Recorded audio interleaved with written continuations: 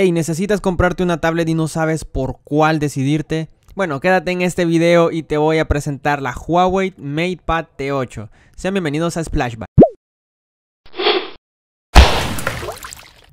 Y bueno, te voy a explicar de manera rápida para qué te puede servir esta tablet y para qué no te puede servir esta tablet, porque obviamente no es un dispositivo perfecto. Y bueno, como primer punto que quisiera tratar es la pantalla. Esta tablet tiene una pantalla de 8 pulgadas con una tecnología IPS. Como puedes ver, los ángulos de visión de esta tablet son bastante, bastante aceptables, así es de que consumir contenido multimedia, que es una de las razones por las cuales muchas personas se quieren comprar una tablet, pues es una experiencia bastante buena. Y hablando de contenido multimedia, creo que una de las cosas que tú puedes hacer para potenciar aún más esa experiencia es utilizar audífonos. ¿Por qué? Porque sí es verdad que esta tablet tiene pues un altavoz en la parte de arriba, pero pues no es tan potente, no es digamos la mejor opción si tú quieres realmente disfrutar una película, por ejemplo. Así es de que yo te recomiendo de que uses siempre audífonos. Bueno, otra cosa es que esta pantalla también nos sirve para videollamadas, por ejemplo, en Zoom, que están bastante, bastante de moda en este 2020.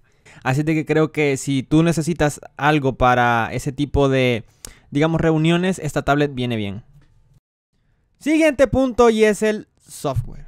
Sí, al igual que muchos dispositivos de Huawei, este tampoco cuenta con los servicios de Google. No tenemos la Play Store, no podemos acceder a esa tienda de Google para descargar nuestras aplicaciones. Pero pensemos por un momento, esta tablet viene bien si tú la quieres para estudiar, para trabajar, para hacer cosas de anotar, yo que sé, algún apunte, o si tú quieres pues leer algún documento, leer algún libro, viene bastante bien. Por lo tanto, yo considero de que no hace falta que tengamos la Google Play Store. ¿Por qué? Si tú solamente la quieres para eso, pues no vas a instalar juegos, no necesitas, por ejemplo, eh, yo qué sé, andar viendo cómo descargar, por ejemplo, el Google Maps o lo que sea, o los servicios de Google para que te funcione en Pokémon Go, que se podría, pero si tú realmente no, no la quieres para eso, no la quieres para jugar, pues no le veo el caso de que, andes buscando esas alternativas. Así es de que yo pienso que si únicamente la quieres para trabajar, para estudiar, para anotar cosas, para reuniones, en videollamadas, pues está bien, no tienes pues mayor problema. Y tienes como alternativa la aplicación de App Gallery, la cual es la tienda de Huawei y ahí podrás descargar pues muchísimas otras aplicaciones que son para productividad y para ese tipo de cosas. Y bueno, si tú quieres instalar una aplicación y no se encuentra dentro de App Gallery, te dejaré abajo en la descripción y también acá en las tarjetas en la parte superior derecha links de videos que nosotros hemos hecho para instalar otras aplicaciones como por ejemplo YouTube, Netflix y pues así como esos videos también funciona con otras aplicaciones, así de que te los dejaré ahí para que los vayas a ver si tú tienes la duda de cómo se instalan, te recomiendo que los vayas a ver.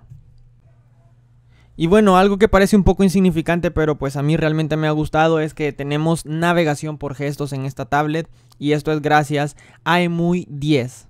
Bueno, 10.1 es la última versión que tiene esta tablet. Bueno, también tenemos el apartado de las cámaras y en este punto creo que pues no podemos esperar mucho de la tablet. Sí que es verdad que por ejemplo para escanear documentos, escanear tareas y mandarlas, que creo yo que sería el principal eh, uso que se le daría a la tablet, pues va bastante bien. Como pueden ver aquí estoy escaneando este libro y queda bastante bien. O sea, tú puedes hacer eso y se ve muy bien, o sea, el texto y todo lo demás. Pero aparte de este uso, sinceramente no creo que esta tablet esté destinada a la fotografía. O sea, no puedes esperar grandes resultados en exteriores, por ejemplo, para andar tomando fotos o videos como si tuvieras un teléfono. Siguiente punto y es el apartado del rendimiento. Por dentro tenemos un procesador MediaTek MT8768, tenemos 2 GB de memoria RAM y 16 GB de almacenamiento interno. También existe una versión de 32 de almacenamiento interno y 2 de RAM, pero pues no es este el caso. Sinceramente creo y sigo reiterando lo mismo que para tareas básicas, para cosas de la escuela, para cosas de leer documentos, mm, escanear tareas, videoconferencias, está bien, está bien la tablet, o sea, te cumple con eso. Pero más allá de eso, sinceramente yo no la recomendaría, digamos, por ejemplo, para estar jugando, o sea, si es una tablet que tú la quieres para jugar, no, o sea, no, no, no creo que sea el uso más adecuado que se le pueda dar a esta tablet. Así es de que yo considero, insisto en eso, de que si tú la quieres para estudiar, lo quieres para leer documentos, la quieres para de pronto navegar por ahí en Facebook, o si tú quieres consumir contenido multimedia, pues va bastante bien. Y bueno, creo que eso es lo único que tenía que comentar acerca de la tablet. Antes que te vaya, solo quiero recomendarte estos dos videos que aparecen aquí en la parte izquierda y en la parte derecha. Espero que los vayas a ver. Son para que instales las aplicaciones en esta tablet y en cualquier otro teléfono de Huawei que no tenga los servicios de Google. Te esperamos en un próximo video aquí en Splashby.